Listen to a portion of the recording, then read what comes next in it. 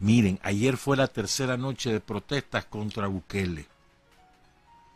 Protesta de sectores empobrecidos y de sectores medio altos. Una pitada, porque como tienen prohibido salir, todo lo que hacen es pitar. La pitada, suenan pito o pitan los carros. Tercera noche. La más intensa fue la de anoche. Bukele está furioso. Furioso. Fíjense bien. La economía paralizada, ya llevan más de mil casos. Creo que van 18 muertos. Y quiere 15 días más. En eso anda. Además se está peleando con todo el mundo, como suele suceder. El lunes le renunció una comisión que él había nombrado para supervisar el, el uso de los 2 mil millones de dólares que ha pedido de préstamo. va a endeudar al país, quién sabe hasta cuántos años, unos 40 años. ¿Verdad? Entonces, puso una comisión ahí de cinco organizaciones, la UCA, el, COSEP de allá, que se llama NEP, y otras tres entidades, para supervisar el gasto. El lunes renunciaron todos. Entonces, furioso, le vino y dijo, desconozco al presidente del COSEP de allá, que se llama NEP, lo desconozco, no vuelvo a tratar con él. Furioso. Entonces, este Javier Simán, que es el dueño de Galería Simán, aquí están en Nicaragua, ¿verdad? Ayer le respondió, le llevaron una entrevista a un canal de televisión y habló de cosas muy interesantes. Quiero que le pongan atención. Se lo voy a presentar. Por supuesto, no toda la entrevista, la entrevista dura hora y pico. No, no, no, no. Ocho, nueve minutos. Pero es que es sumamente interesante. Uno de los hombres más ricos de Centroamérica. Presidente del COSEP de allá. ¿Verdad? Aquí los COSEPos andan simplemente como perritos falderos de Sullivan y toda la claque de la, de la gusanera que es la que dirige la política exterior San Nicaragua. Allá están, ya están bravos por el comportamiento de Bukele. Aquí, economía abierta, funcionando. Claro, con un impacto, por supuesto que hay impacto, pero no está cerrado los campesinos están sembrando la tierra, todo el mundo, los campesinos están a la espera de que se estabilicen las lluvias para sembrar y para que vos tengas gallo pinto en tu, en tu mesa. Huevo, gallo pinto, carne, carne de pollo, carne de res o carne de cerdo, para que vos tengas todo eso. Ya los campesinos están trabajando.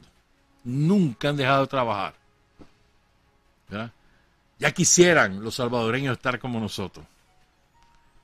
Y el ya quisieran no es un recurso propagandístico. Oigan lo que dice Javier Simán, el presidente de los empresarios salvadoreños. ¿Qué implicaciones tiene este desconocimiento hacia su persona y hacia la en el sentido de las pláticas y el diálogo que se necesita para reabrir o abrir paulatinamente la economía a partir de esta emergencia? Mira, eh, es posible que el presidente y algunos funcionarios traten de de obviar tratar con ANEP y, tratarán de irse directo con empresarios o directo con algunas gremiales. Los canales están siempre abiertos a través de ANEP o de las diferentes gremiales. Pero como te reitero, nosotros estamos en la voluntad y vamos a seguir trabajando. Con el gobierno o sin el gobierno, el sector privado va a trabajar porque nosotros nos debemos a los trabajadores, a los emprendedores y a los empresarios. ¿Y a qué, a qué o cómo se puede entender que van a seguir trabajando si eh, existe un estado de emergencia, existe una cuarentena, existen restricciones para trabajar? A eso me refiero. Pero nosotros seguimos haciendo donativos, es decir, el sector privado sigue haciendo entregas. El sector privado sigue abasteciendo los puntos de venta, supermercados y tiendas nosotros vamos a seguir trabajando. El gobierno nos ha lanzado los troles diciendo de que el sector privado no tiene consideración por la salud, que queremos, han llegado al grado de decir de que babiamos por ver cadáveres en la calle. ¿Cómo se te ocurre eso? Es decir, nosotros creemos de que la salud y los empleos se pueden atender simultáneamente. Por supuesto, la salud es prioritario, pero nadie dice de que no podés atender el tema de empleos, porque Los que tienen empleo hasta ahora han recibido un salario, pero la mayoría de salvadoreños son autoempleados, es decir, salen día a día a ganarse el sustento y si no salen a vender, no tienen que comer. Ahorita hay una propuesta que por cierto participamos nosotros, que es la del reparto de víveres. Eso por supuesto va a ser un alivio, pero no es la solución para todos. Entonces tenemos que empezar a abordar el tema de la apertura. Y en nuestras pláticas el gobierno se comprometió a que después de estos 15 días íbamos a comenzar una apertura gradual con protocolos, sin poner en riesgo el contagio ni de nuestros trabajadores ni de la población. Y te voy a decir que aquellas empresas que están operando con protocolos sanitarios, no tenemos ni un caso que se haya presentado de contagio positivo. Hemos visto esa semana eh, contagio en, supermercados, un par de casos, pero en general el sector creo privado. que en un banco también. Creo que en un banco se, dio. Y hay procedimientos que se cierra, se hace la limpieza, sanitización. y, eso se va a seguir dando, Neto, porque el virus no va a desaparecer. Tenemos que aprender a vivir con este virus. Y, las mascarillas, el distanciamiento, las caretas plásticas la sanitización de los lugares de trabajo, eso vamos a tener que continuar por meses, posiblemente por, por año, porque el virus no desaparece. Entonces aquí todo se trata de que el virus no nos contagie a todos al mismo tiempo. ¿Por qué? Porque el gobierno y el sistema de salud pública no tienen capacidad de atendernos a todos de un solo. Pero que nos va a dar, nos va a dar, ¿verdad? Y, viene con las lluvias, también viene otro tipo de enfermedades. Acordate que con las lluvias vienen los zancudos, viene dengue, paludismo, la influenza, chiquincuya, zika. Eh, todo entramos a gripe por los cambios de... Entonces, vaya, tú estás hablando de gripe. Todos nos da gripe y la, nuestro sistema inmune lo atiende. Pero hay personas que su sistema inmune no es suficiente para atender la gripe. Se les convierte en neumonía hay 40 mil casos de neumonía que se al año. En este país tenemos. De esos 16 mil terminan en el hospital. Y de esos 16 mil tenemos aproximadamente mil muertes. Es desafortunado. Pero lo que te quiero hacer ver es de que al final los humanos vivimos con el virus. No vamos a pasar toda nuestra vida encerrados en la casa. Tenemos que empezar a afrontarlo y a tomar las medidas sanitarias para que podamos regresar a la normalidad con protocolos de protección. Su comentario me recuerda mucho la postura que asumen especialistas en el manejo de este tipo de situaciones. El caso del Colegio Médico que ha advertido hoy en este marco de la culminación de estos tres eh, periodos de vigentes de la cuarentena y el estado de emergencia ha dicho y advierte que la cuarentena obligatoria ya no es la solución para contener el COVID-19. Lo acaban de decir eh, algunos representantes en las últimas horas del Colegio eh, Médico. ¿Han participado ustedes como sector privado? No hablemos de NET, en el sector privado, ¿ha participado en esa calendarización, en esa cronología de apertura? Mira, nosotros no tenemos conocimiento de que el gobierno o ninguna gremial haya participado con el gobierno en definir esa ¿Qué rubros van a abrir? Ahora, nosotros, nosotros como ANEP sí ya tenemos planes de reapertura y tenemos los protocolos que te digo. Y yo sí quiero regresar a lo del colegio médico, porque es bien interesante. Si tú ves los observatorios que ellos publican, ellos claramente han dicho de que este tema de la cuarentena general, obligatoria, ya no tiene sentido. Por supuesto, hay que seguir monitoreando los brotes en diferentes comunidades, ¿verdad?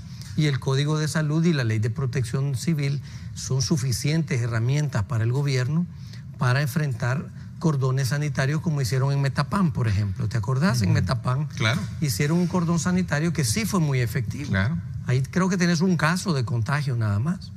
En cambio, lo que pasó en la libertad, eso no fue un cordón sanitario, eso fue un cordón militar, liderado por el ministro de Defensa. Entonces, ese tipo de cosas reprimen a la población, pero no no te ayudan con el virus.